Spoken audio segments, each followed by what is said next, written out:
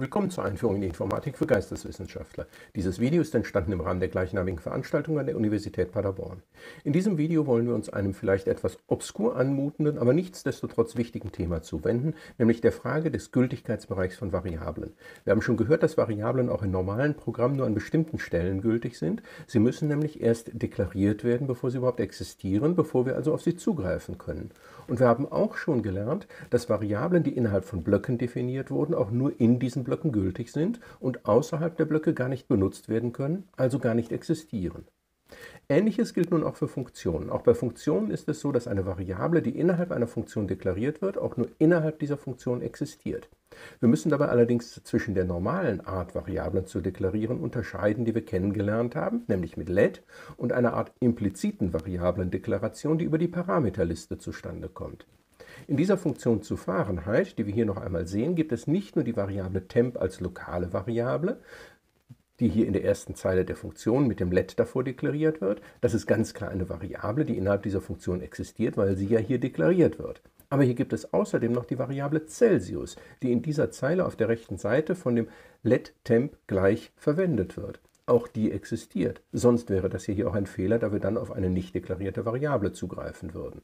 Dass sie existiert, liegt daran, dass sie im Kopf der Funktion als Parameter aufgeführt ist. Parameter sind ebenfalls deklarierte Variablen und, wie im letzten Video schon angesprochen, sind auch direkt initialisiert, weil die Funktion mit einem Parameter aufgerufen wird. Damit steht in der Variablen dann immer bereits ein Wert, sobald die Funktion aufgerufen wird. In einem vorherigen Video habe ich das so vorgestellt, dass im Grunde genommen die Funktion in einer Art Box lebt, in einem Kasten und im Prinzip nichts davon weiß, was sich außerhalb dieses Kastens befindet. Ich habe in dem Video so getan, als würde die Funktion nur diese lokalen Variablen kennen, nur die Variablen, die in ihr selber deklariert worden sind, entweder weil sie als Parameter angegeben oder explizit über die Anweisung let deklariert worden sind. Das stimmt aber tatsächlich nicht. Es gilt schon, wie eben gesagt, dass Parameter immer lokal sind und auch, dass innerhalb einer Funktion deklarierte Variablen ebenfalls lokal sind. Tatsächlich aber existieren innerhalb dieser Funktion auch die sogenannten globalen Variablen. Das sind Variablen, die außerhalb der Funktion deklariert worden sind und sozusagen aus der umgebenden Welt implizit ebenfalls zur Verfügung stehen, allerdings nur teilweise. So steht tatsächlich die Variable f, die wir im Hauptprogramm deklarieren, innerhalb der Funktion Zufahrenheit zur Verfügung. Wir können sie da im Moment nicht sinnvoll verwenden, so wie das Programm aufgebaut ist, aber es wäre denkbar, dass wir ein anderes Programm hätten, bei dem das sinnvoll sein könnte. Was allerdings innerhalb der Funktion nicht existieren würde, ist die Variable temp aus unserem Hauptprogramm, denn diese überdecken wir gewissermaßen dadurch, dass wir in der Funktion eine Variable gleichen Namens verwenden. Denn die Variable temp, die wir innerhalb der Funktion lokal definiert haben, heißt zufälligerweise ebenfalls temp. Auf die Variable temp, die außerhalb der Funktion deklariert ist, können wir daher nicht zugreifen, weil sie eben, wie gesagt, verdeckt ist. Die Regel sieht so aus, dass wenn eine Funktion eine Variable verwendet, nachgeguckt wird, ob diese Variable lokal in der Funktion deklariert ist, sei es, dass sie als Parameter übergeben worden ist oder dass sie per let deklariert worden ist. Wenn das nicht der Fall ist, wird nach außen geguckt, ob zufälligerweise außerhalb eine Variable entsprechenden Namens existiert. Und wenn das der Fall ist, dann wird diese Variable von außerhalb, die globale Variable, verwendet. Mit der Variablen f würde das hier also funktionieren. Jetzt nehme ich eine ganz kleine Modifikation an diesem Programm vor und nehme in der Funktion Zufahrenheit dort oben in der ersten Zeile das Wort let vorne weg. Unsere Funktion sieht nun so aus. Wir haben jetzt also stehen temp gleich Celsius mal 9 durch 5 plus 32 und nicht mehr das let davor. So wird jetzt diese Variable temp nicht mehr in der Funktion deklariert. Trotzdem ist der Programmcode wie eben schon angedeutet korrekt, weil die Funktion nun eben nachguckt, oh, hier muss ich eine Variable temp verwenden, der ich einen Wert zuweisen soll. Ich kenne aber selber gar keine Variable temp. Dann frage ich doch meine Umgebung, ob die zufälligerweise eine solche Variable kennt. Und das ist hier der Fall, denn im Hauptprogramm unten steht ja let temp gleich und so weiter. Dort hat der Benutzer eine Temperatur eingegeben. Wir haben also nach wie vor diesen Kasten um die Funktion. Für den Parameter gilt immer noch, dass er lokal ist. Aber für die in der Funktion verwendete Variable, die hier ja nun nicht in der Funktion deklariert wird, gilt etwas anderes. Die ist nämlich eine globale Variable. Was das für eine Konsequenz hat, was das tatsächlich macht, das gucken wir jetzt uns einmal in Live an. Hier sehen wir jetzt das Programm. Ich habe das nur eben gerade von der Folie einmal hier hinüber kopiert und das liegt jetzt in einer Dateitemperaturumrechnung 2. Die Dateitemperaturumrechnung war die aus dem letzten Video. Diese Datei laden wir jetzt einmal in den Browser und probieren das aus. Ich gebe eine Temperatur ein und möchte jetzt beispielsweise einmal die Temperatur von 20 Grad Celsius in Fahrenheit umgerechnet haben. 20 mal 9 durch 5 wären 36 plus 32, also 68, was da herauskommen sollte. Dann probieren wir das doch einmal aus. Wir sagen OK. Und wir bekommen angezeigt, 20 Grad Celsius sind 68 Grad Fahrenheit, also korrekt. Jetzt nehme ich aus diesem Programm hier oben einmal das Wort LED heraus. Und wir laden die Datei hier drüben neu. Ich gebe wieder den Wert 20 Grad Celsius ein und auf einmal wird uns angezeigt, 68 Grad Celsius sind 68 Grad Fahrenheit. Was ist denn hier passiert? In unserer Funktion hat die Variable temp einen neuen Wert bekommen. Das haben wir hier genau in dieser Zeile gemacht. Das bedeutet, dass sich diese Änderung, die wir hier an der Variablen temp vorgenommen haben, nicht auf die lokale Variable bezieht, denn das ist ja keine lokale Variable, sondern auf die globale Variable, die wir hier haben.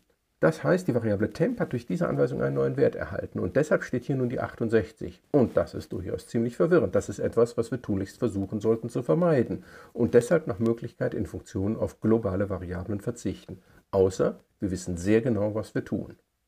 Was haben wir jetzt gerade also gelernt? Dass in JavaScript und nicht nur in JavaScript, sondern in vielen anderen Programmiersprachen ist das ebenso, unterschieden wird zwischen globalen und lokalen Variablen.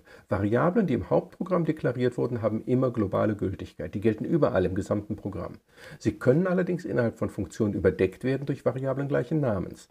Abgesehen davon sind sie ansonsten aber im gesamten Programm verfügbar. Lokale Variablen dagegen sind nur in dem Programmteil verfügbar, in dem sie deklariert wurden. Das heißt nur innerhalb der Funktion, in diesem Fall, oder oder innerhalb eines Blocks.